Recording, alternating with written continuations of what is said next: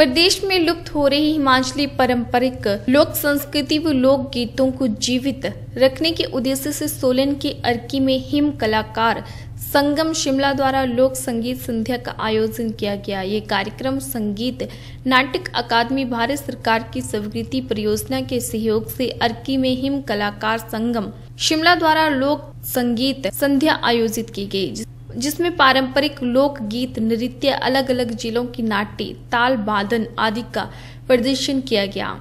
एक दिवसीय कार्यक्रम का आगाज़ सेवानिवृत्त प्रोफेसर नंदन लाल गर्ग द्वारा दीप प्रज्वलित कर किया गया, जिसमें जिला सोलन, मंडी व शिमला के प्रसिद्ध महिला तथा पुरुष कलाकार टीमों ने भाग लिया।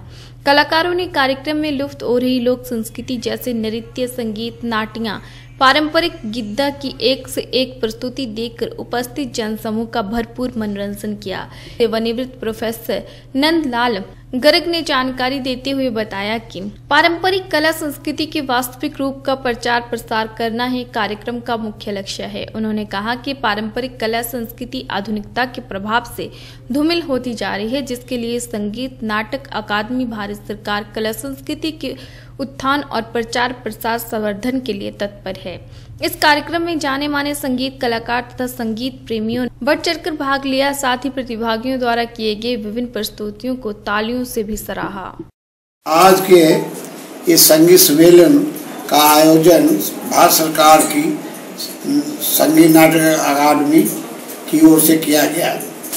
और इसलिए परियोजना का निर्देश मैंने किया। मुझे इसका अवसर मिला है और इसमें विभिन्न क्षेत्रों से तीनों जिलों के विभिन्न कलाकार यहाँ पर आए जिन्होंने गायन वादन और नृत्य प्रस्तुत किया। और मुझे बड़ी ये प्रसन्नता है कि ये ऐतिहासिक स्थान है अर्की जहाँ पर इसका आयोजन किया गया है। और ये हमारी विशेष हमारा ये रहा मेरे मन में रहता है कि, कि हमारी जो लुप्त होती जा रही कला संस्कृति है, पारंपरिक संगीत है, नृत्य है वादन वादन है, ये लुप्त होते जा रहे हैं। इन पर ज़्यादा कोई ध्यान नहीं दिया जा रहा है। और जो अगली पीढ़ी है हमारी, वो पारंपरिक कला संस्कृति को छोड़ के से अवगत नहीं है।